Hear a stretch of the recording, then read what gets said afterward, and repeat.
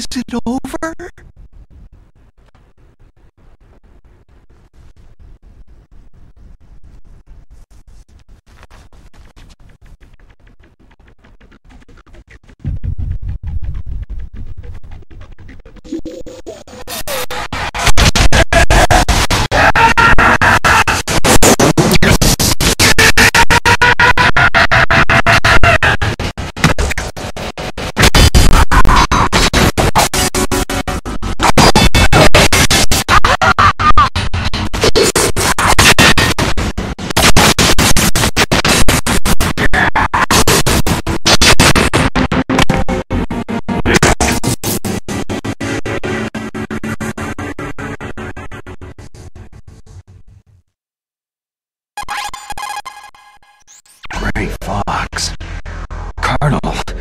ninja is Gray Fox.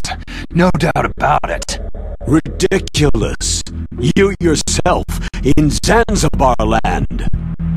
Yes. He should have been killed, but he's still alive.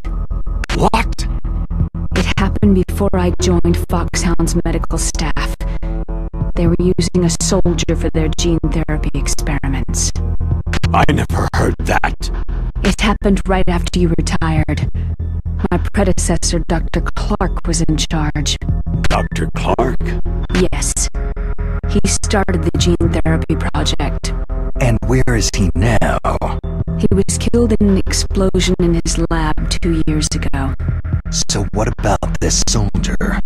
Apparently, for their test subject, they decided to use the body of a soldier who was recovered after the fall of Zanzibar land.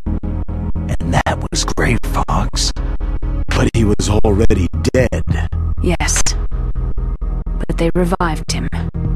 They fitted him with a prototype exoskeleton and kept him drugged for four years while they experimented on him like a plaything. Today's genome soldiers were born from those experiments. That's the sickest thing I've ever heard. They used him to test all sorts of gene therapy techniques. Naomi, why didn't you tell us about this sooner? Because it's confidential information. Is that the only reason? Naomi, what happened to Gray Fox after that? The record said he died in an accident. I see. But even if that ninja is Gray Fox, the question is, why? From what I could tell, he didn't know who he was. You're saying he's just living off his will to fight?